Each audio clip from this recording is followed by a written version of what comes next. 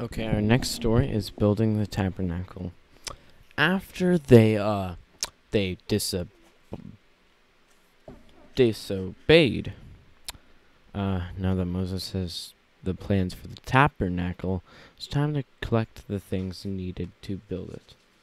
Although the tabernacle would be the most holy place anywhere on earth, everyone was allowed to help by giving some of what they had. Most of the Israelites have been given gifts by the Egyptian people as they left. Because what happened is that um, they really wanted them out of their land so much that they gave them a lot of stuff for it.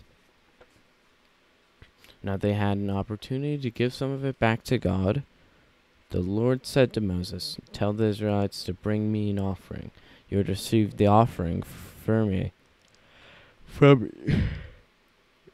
a man whose heart prompts him to give. Then the people brought oil, or, or all that was needed to build and make the different parts of the tabernacle. The Lord also said that the people could help by using their talents and abilities. All who s- are skilled among you are to go and make everything the Lord has commanded. And so, people are also able to give them able to use the skills God has given them.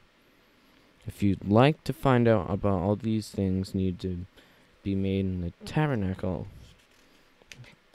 there is a list in Exodus 35 11 through 19. But I'm going to skip that because, like, I'm trying to, like,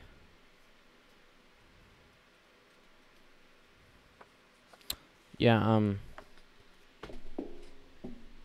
I'm trying to, like, make the story. And also, if you guys say that's a fake background, or, uh, background, what do you mean, uh, fake thing? Hold on, I'm gonna go grab a book See? Book. I'm gonna put it back. Boom. Yeah.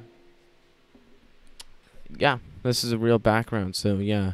No fooling me or no fooling you guys. I'm not fooling.